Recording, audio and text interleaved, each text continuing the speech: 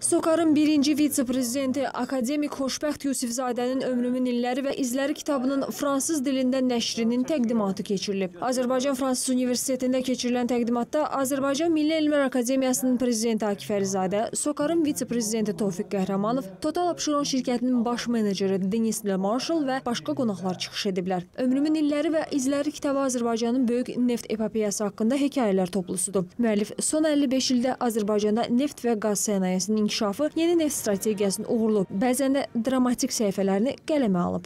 Mən çox şadam ki, mənim kitabım fransız dilində tərcümə oldu.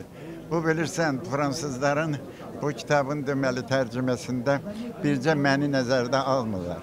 Bunlar ümumiyyətlə Azərbaycan neft sənayesinə, Azərbaycan xalqına, Azərbaycana olduğu münasibətləri mənim vasitəmlə fransızlara çatdırırlar. E, əlbəttə, sevincimin həddi hüdudu yoxdur. Mənim kitabım belədir ki, təxminən Azərbaycan həyatıdır. Müharibə vaxtında, müharibədən sonra, sonra bu, Sovet vaxtında, sonra Azərbaycan müstəqil olandan sonra Tədbirdə çıxış edən Total Abşeron şirkətinin baş meneceri Denis Le Marshall kitabın müəllifinə təşəkkür edib. Onun sözlərinə görə Xoşbəxt Yusifzadənin həyatı həm də 20-ci əsrdə neft və qaz sahəsində qabaqcıl olmuş bir ölkənin tarixidir. 5 il əvvəl Azərbaycana gəldiyimdən bəri hər dəfə onunla görüş mənim üçün şərəf olub. Onun nüfuzu Azərbaycanın sərhədlərini aşır. Totalın nəzərində isə o dünya miqyaslı geoloq kimi tanınır. Onun həyatı 20-ci əsrdə neft və qaz sahəsində qabaqcıl olmuş bir ölkənin də tarixidir. Avtobioqrafik hekayələri cəmləyərək bu kitabı yazdığı üçün ona təşəkkür edirəm.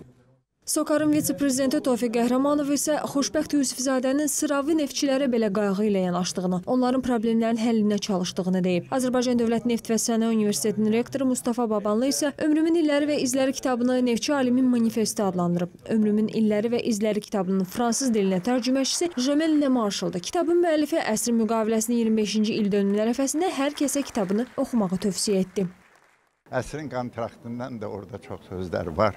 Onun necə həyata keçməsi, necə işlənməsi, də, o qədər də Hasan başa gəlməmişdi. Əsrin müqaviləsi Azərbaycanın necə deyərlər, iqtisadi vəziyyətini tamam dəyişdirdi.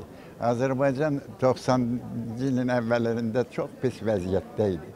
Əsrin müqaviləsi cənab Heydər Əliyevin şah əsəridir.